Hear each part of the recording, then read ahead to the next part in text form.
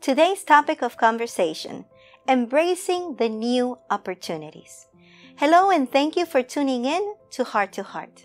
My name is Elaine Enriquez, and it's a true joy to spend this time with you.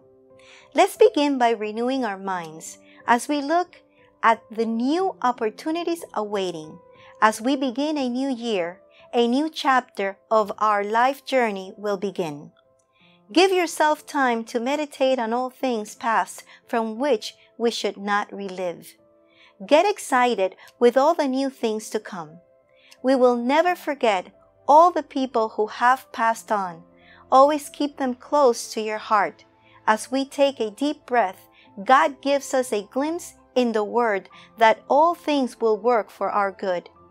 As the new chapters of our lives begin with the coming of a new year, our optimism and strength to look ahead with God leading your daily life opens up a new level of revelation in the supernatural. Forgiveness and humbleness are the most important possessions that will allow us to get to fulfill our true destiny. Our calling and conquering each trial will be better in the arms of God the Father, Jesus our Savior, the Holy Spirit of which all truth abides. Here is a Bible verse to hold on during the whole year, and it's in the book of Galatians 6, verse 10.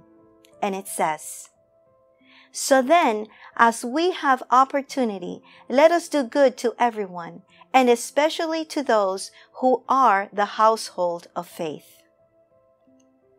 God loves you, and so do I.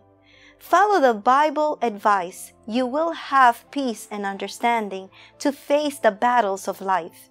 I invite you to follow us through our social media network communities. Subscribe to our YouTube channel in OVM Radio. Now is a good time. You will be able to enjoy more of our programming. If you enjoy these segments, where the heart of the Father touches the heart of man, click the bell for more notifications of the segment Heart to Heart, available to you. If you need us to support you in prayer, write to us your request to the following email ovmprayforme at gmail.com. Leave us a message to know where you see and hear us. I would love to greet you in the next segment of Heart to Heart. God bless you, and I'll see you soon. Bye bye.